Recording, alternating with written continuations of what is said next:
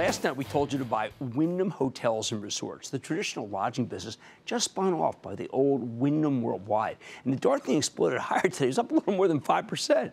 Now, the remaining company, a pure play on vacation rentals, think timeshares, has changed its name to Wyndham Destinations. And the new ticker is WYND.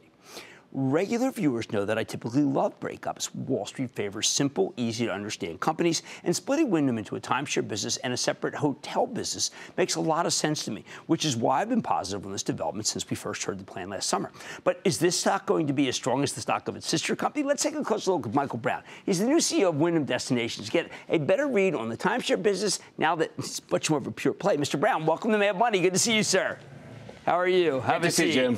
Okay, so uh, I would say that not all of our viewers are, are, familiar with what the timeshare business is, although it's getting younger and younger, right. judging from who's signing up. If you can tell people uh, what the industry's health is and where you fit in, because I have to tell you, we have had huge, huge win here in Marriott Vacations Worldwide no, right. when, when the stock right. was in its 50s when we said to buy it because it just seemed too cheap on a cash flow basis. Right.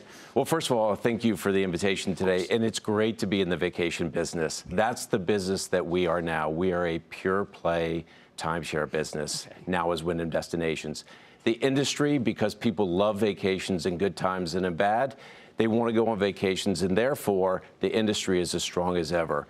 Growth every single year. But what's interesting about that growth the growth is really changing in favor of branded hospitality players. Over the last few years, the market share of those branded hospitality players has nearly doubled. All right, well, then give me the value proposition of being with you, say, versus uh, another vac- uh, timeshare company, and also versus just say where you just want to go somewhere every year and, uh, and you, you're happy to pay the hotel fee.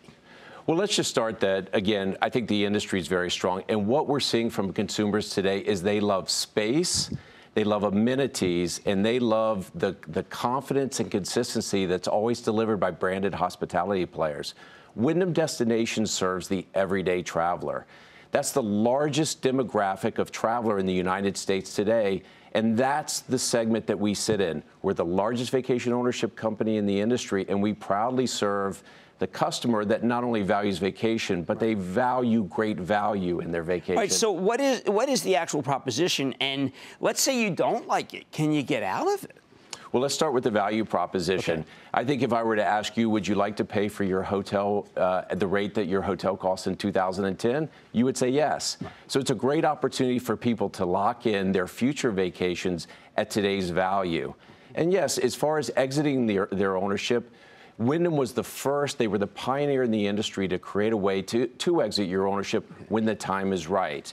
Um, we call that the Ovation program, and we, we exit program, uh, owners on occasion when, when they call us and they say, you know, the time's right for me to exit my ownership. Well, is there a, a robust secondary market? Because that would seem to be a, another good opportunity.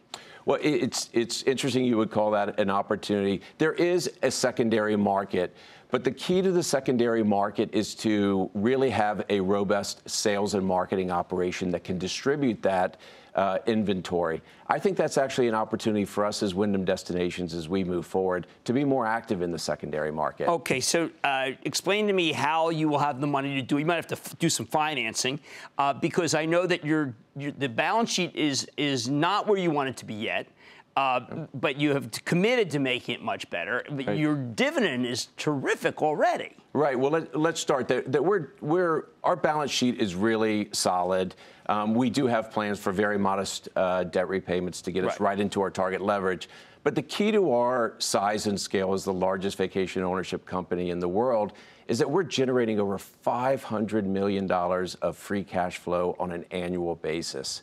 So that free cash flow gives us a great opportunity to return capital to the shareholders and focus on what these split ups are all about, which is growth and shareholder value. All right, now to be fair, what we what drew us to Marriott Vacations Worldwide, yes. and no compare. My mother would say comparisons are odorous, but mm. uh, they uh, they had 36 uh, million shares five years ago, and now they're down to 27 million. It's right. kind of like I'm not saying anything's a no-brainer, but when you have sure. that kind of buyback, it's pretty darn good. No, it's attractive. Can you guys? How soon can you do that, or do you feel like it's the debt first? No, um, we've we've laid out very modest debt repayments, but as you look at where we're going to return capital to shareholders, we've already committed to a $1.64 dividend, right. which is going to create a great dividend yield. That leaves us within our over 550 million of free cash flow, a lot of cash flow to either return to shareholders or look for, for great opportunities that will accelerate growth. You're very aware of the La Quinta acquisition that yeah. just occurred recently, and I heard your interview yesterday with Mr. Ballotti. It's, a, it's a great deal not only for the hotel group, but it's a great deal for us because loyal Wyndham guests become great prospects for us to own timeshare. And that also the the gigantic rewards program's got to help you too. Well, I, I've worked for two great companies prior to to, to, to, join with Marriott and then with Hilton, and they're two great companies. And and the blueprint print is very clear about that hotel relationship. So. As, as the Wyndham Hotel Group continues to grow to now over 60 million loyal members, that's a great opportunity for us, which is really in, in, a baseball analogy, we're in early innings of that opportunity, whereas, um, uh, you know, the companies I left, they've, they've been doing a great job for, for the past few years. Well put. Okay. That's Michael Brown, CEO of Wyndham Destinations. And you know what we said about Steve Holmes putting together a great company and then unlocking even more value? Well, this is part of the value equation. Mad Money's back after the break. Thank you. Booyah! Jim Cramer here from Mad Money. Thanks for watching CNBC on YouTube.